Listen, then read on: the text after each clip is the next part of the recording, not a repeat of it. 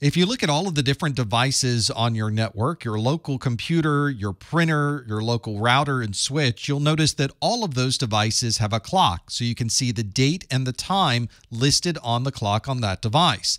And on most networks, keeping a synchronization of all these clocks becomes incredibly important. We want to be sure that all of the log files between all of these devices are synchronized with their times. Some servers require the time frames to be very close together for authentication purposes. And if you have an outage, you do want to be sure that you understand exactly when that outage may have occurred, and you will have no idea unless you have a synchronized time. In fact, if you look at the clock that's on your local computer, you'll notice that it's probably up to date with the latest date and time because all of these updates occur automatically behind the scenes. Your local system and network administrators get to determine how often these updates occur and to which servers are going to be used. To be able to provide this synchronization and be able to provide it with less than a millisecond of granularity on your local network, we use a protocol called NTP or Network Time Protocol. On your network are going to be NTP servers and NTP clients. An NTP server is going to listen on UDP port 123 and it's going to respond with time information for anyone who makes a request to that server. This device is not modifying their own time, they're simply providing time updates to anyone who might need it on the network. Your device, like your local computer, is an NTP client. NTP clients make requests to the NTP server and receive responses and update their times accordingly. If a device is both an NTP client and server, then it's not only making requests to another NTP server to keep its own clock up to date, but it's providing answers to other devices on the network so that those devices can keep their clock synchronized as well.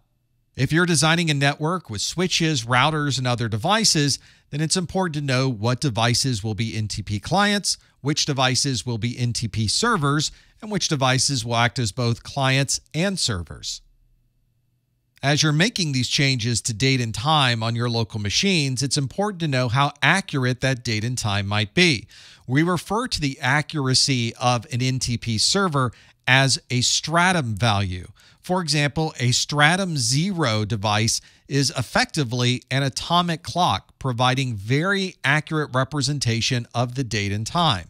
This is the accuracy you might get from something like the clock associated with Global Positioning Systems, or the U.S. Naval Observatory keeps a Stratum Zero atomic clock that you can reference. If your device is getting its time frame from a Stratum Zero, then your device is a Stratum 1 clock. It's already synchronized to one of these Stratum 0 servers, and usually these are primary time servers on your network. If you're synchronizing your time to a Stratum 1 server, then that is a Stratum 2. And each time you go one step beyond those, you add one to that value. So the next layer down would be Stratum 3. Generally, stratum 1 and 2 are what you might see in your environments, but it would also depend on how large your network is and where you're providing that synchronization from. Your computer is most likely operating as an NTP client, so if you look at the date and time configuration on your device, you'll see the NTP servers that are used to synchronize this clock. You might also be able to put multiple servers into this list, so if you're not able to synchronize against the first one on the list, you can choose the second one.